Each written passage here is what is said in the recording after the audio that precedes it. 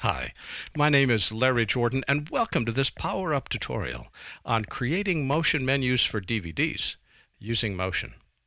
We've done menus for DVDs for a long time inside Photoshop, but now we can start to add motion to them. And there's lots of different applications that allow us to add motion to our menus, but one of the best ones is motion itself. The problem is motion has a different interface and sometimes it's difficult to learn. So what I want to do today is to walk you through two different processes. One is the process of creating a menu inside Motion and getting into DVD Studio Pro. And the second is to create a very nice looking Motion menu when you've got zero design skills and no resources to work with except that which comes with the Motion library itself. There's a lot of stuff to cover and I'm looking forward to showing it to you. So let's get ourselves started. Why should we even use Motion for DVD menus? Well, Motion easily creates and combines audio, video, and graphic elements in a single file. Other applications can combine them. Motion creates them as well. And it's easy to round trip between DVD Studio Pro and Motion for making adjustments to the files that we create.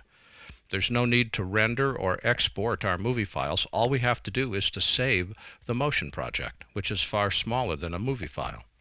We can easily create DVD menu button overlays inside Motion, and we can easily set and modify the DVD menu loop point. Now I'm not going to define what the DVD menu loop point is for right now, but I will define it before this session is over. Our goals for this webinar are to have two exercises. The first creates a simple DVD menu. In it, I want to show you how to create button overlay graphics, save and import the file into DVD Studio Pro, create a menu, and add the Motion file to it inside DVD Studio Pro.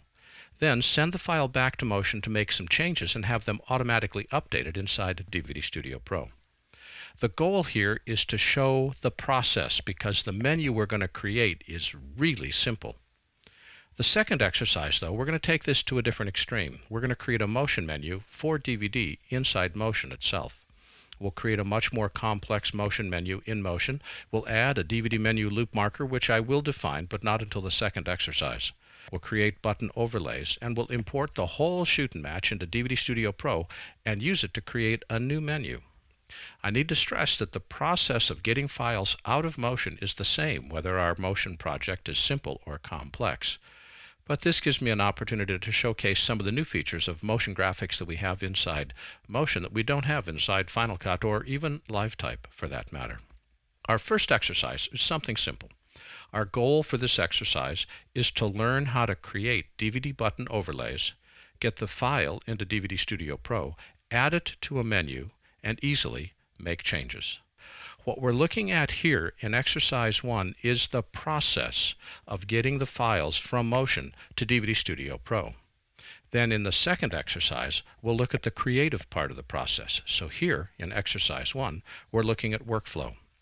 Along the way, I'm going to cover some new techniques, specifically how to show and hide layers in Motion, how to export a single frame from Motion as a TIFF image, how to import the menu into DVD Studio Pro, how to import the overlay file, how to create menu buttons with overlays, how to set button overlay colors, and how to make changes to the motion source file and have those changes reflected back into DVD Studio Pro. So that's where we're headed. Let's get ourselves started. Ta-da! There is our menu. Is that not enough to just bring tears to your eyes? Look at the creativity involved. We've got a background, that's the blue square, a title, and some menu buttons. Now, last week, when we did our Introduction to Motion webinar, we talked about how to set project properties and the basic interface in the operation. So I'm building on that webinar for this one.